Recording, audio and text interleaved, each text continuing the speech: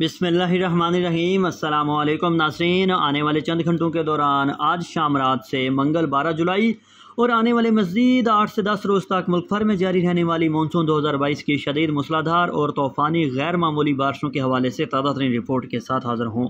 नाजरीन, इस वक्त ताज़ा तरीन सेटेलाइट इमेज आपके सामने आप देख सकते हैं कि सुबह पंजाब के मुख्तलिफ़ इलाकों में और लाहौर के पास भी गरज चमक के बादल मौजूद और मुख्तलिफ़ इलाकों में बारिश का सिलसिला जारी है। दूसरी तरफ़ कराची में शदीद बारिशों के बायस सैलाबी सूरत हाल पैदा हो चुकी है। इस वक्त भी तूफ़ानी बारिश का सिलसिला जारी।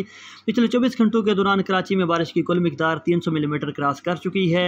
रेन एमरजेंसी नाफज कर दी गई है। शहर का ज़्यादातर हिस्सा शदीद बारिश के बायस डूब चुका है और शदीद मौसमी हालात हैं इस वक्त कराची में। महकमे मौसमियात के मुताबिक आज रात तक, कल तक कराची में बारिशों की शिदत में कुछ कमी आने का इम्कान है।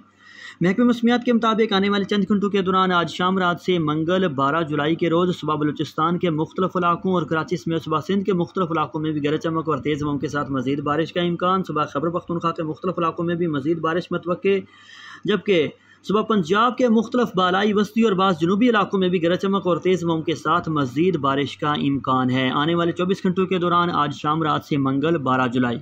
नाजरीन, तैयारी मुकम्मल कर लें, ये बारिशें ख़त्म नहीं होंगी, बल्कि इनमें आने वाले दिनों के दौरान मजीद शिद्दत आने वाली है। मंगल शाम रात से बुध के दौरान मानसून बारिशों का एक इंतहाई ताकतवर सिलसिला पूरे मुल्क में दाखिल हो जाएगा, जो आने वाले मज़ीद छः से सात रोज़ तक मुल्क भर में जारी रहेगा।